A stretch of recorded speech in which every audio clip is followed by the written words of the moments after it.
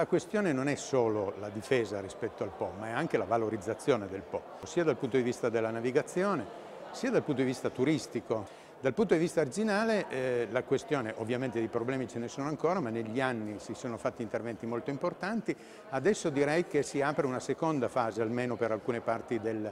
eh, del territorio, in particolare per il Piemonte, e cioè gli interventi di laminazione, molto delicati ma direi risolutivi. Il nostro è un territorio fragile, l'Italia in generale, siamo nel Delta, siamo a Ferrara, eh, il Po che è una delle più grandi infrastrutture blu, quindi importante da tanti punti di vista, ha un'esigenza di attenzione costante e continua, anche una manutenzione e un, una gestione ordinaria di queste infrastrutture, tanto più quando ci sono rischi importanti per un territorio come quello che è la pianura padana, quindi ricco di, di popolazione e di attività, è fondamentale lavorare sulla eh, gestione di questa infrastruttura. Emerge da questo studio una necessità eh, aumentare la resilienza della, del nostro fiume, quindi delle sue arginature, aumentare quindi la sicurezza delle comunità che lo abitano, costruire eh, delle risposte di fronte al cambiamento climatico che ci dice che serve raddoppiare la sicurezza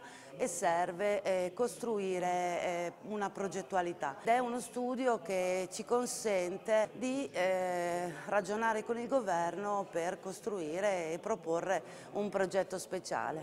È una giornata molto importante eh, di verifica, di studio, di programmazione e di progettazione. È una prospettiva di investimento di Regione Lombardia e di valutazione assolutamente eh, preminente per la salvaguardia della popolazione ma anche per la valorizzazione del, del, fiume Po. Noi riteniamo che il fiume Po per tutto il sistema Italia sia un qualcosa di, eh, di fondamentale. Penso che sia anche in chiave macro regionale giunto il momento di porre l'asta del Po come anche valutazione di sviluppo di un'intera area, anche da un punto di vista eh, turistico, da un punto di vista di valorizzazione ambientale.